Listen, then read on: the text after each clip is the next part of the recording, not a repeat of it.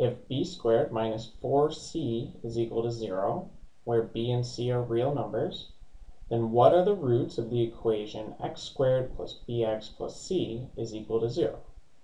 And with this problem, to find its roots, we can use the quadratic formula.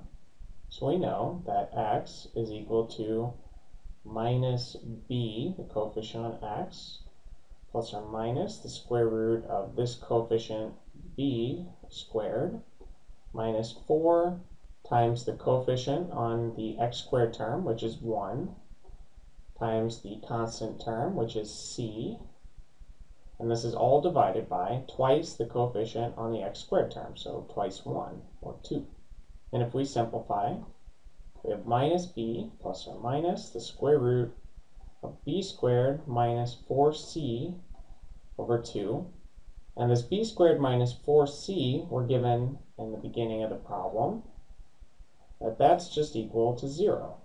So we can simplify again that x is equal to minus b plus or minus the square root of 0 divided by 2.